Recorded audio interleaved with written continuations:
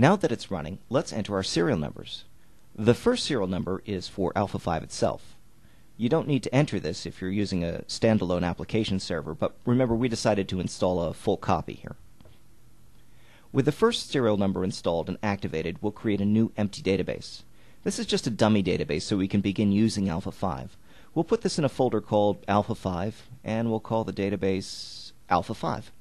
You can name and save the file wherever you like.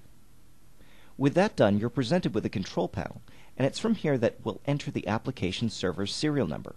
So we'll go to Tools, Application Server, and we'll click the Sessions tab. Next, we'll click Add and enter our serial number. Once it's entered, it needs to be activated by pressing the Activate button here. On the General tab, we'll also want to check the box labeled Automatically Start the Server, which means that Alpha 5 will start the application server whenever Alpha 5 is restarted. Okay, we're just about done, but there's one last step you might need to do depending on how your VPS account is configured. And that step is to turn off the IIS web server. So let's see why and how to do that. When we got our GoDaddy account, and this is true with other accounts as well, the Microsoft Personal Web Server, also known as IIS, was automatically installed and activated for us. And because it's a web server, it's set to use port 80 to exchange information over the web. The problem is that the Alpha 5 application server also uses port 80 because it too is a web server. So if you try to activate Alpha 5 with IIS running, you'll get this error. The server cannot be started, port 80 is already in use. So what we need to do is deactivate IIS.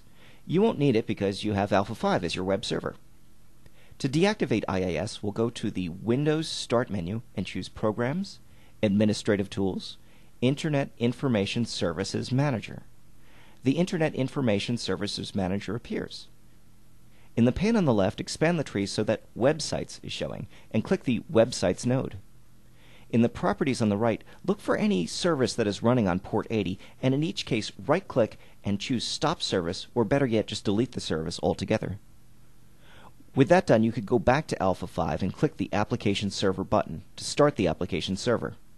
This time there's no error message, and the indicator button has turned green to indicate that Alpha 5 application server is now running. So now it's time to test.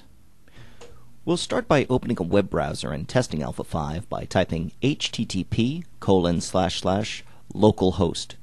Now because we haven't yet published anything to our website, we should get an error 403 telling us that directory browsing is not allowed. This means that we need to put at least one page on our site, so let's do that right now.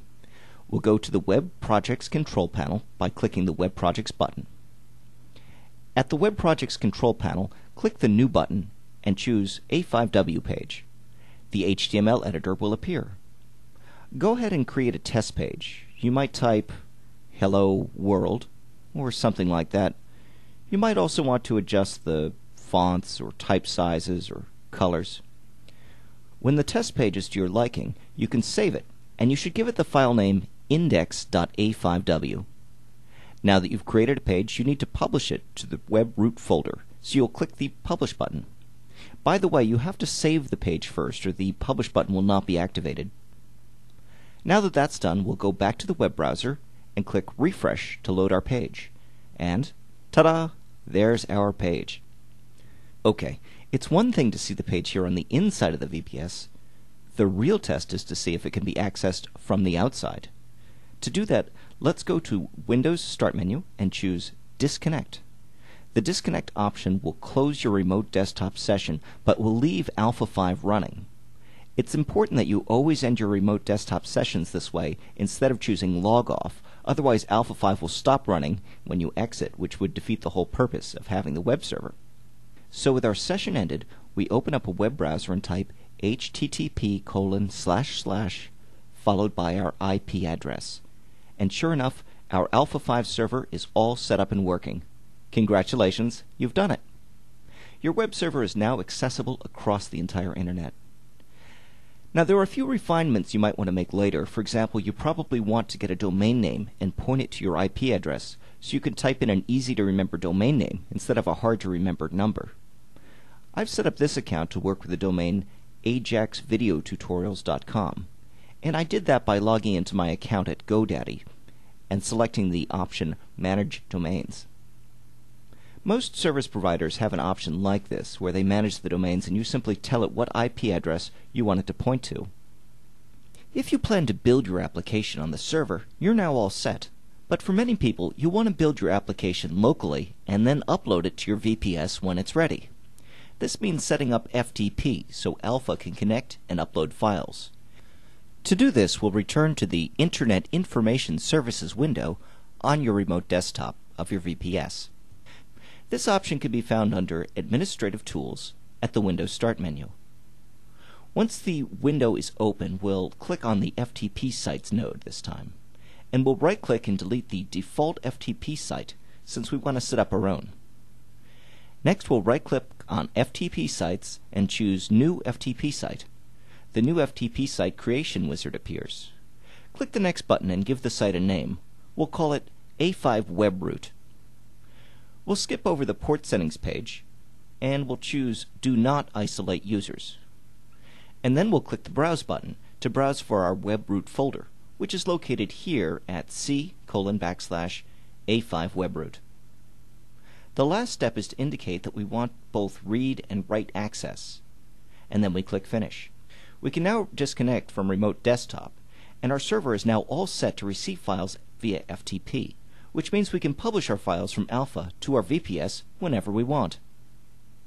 But there's one last thing we need to do before we close out of this screen, and that is to block anonymous FTP access. Without blocking anonymous FTP access, it would be possible for other people to log into your FTP account and take a look at the files stored at the A5 webroot, which we don't want for security reasons. To shut off A5 webroot access, right click again on the FTP sites and this time choose Properties. Under Properties, choose Security Accounts and uncheck the box labeled Allow Anonymous Connections. Well, that wraps it up for setting up the Alpha 5 application server on a VPS. I hope you found this useful. If you have any questions or comments about this video, please email guides at alphasoftware.com. For me, Dave McCormick, and the entire Alpha Software team, thank you for watching.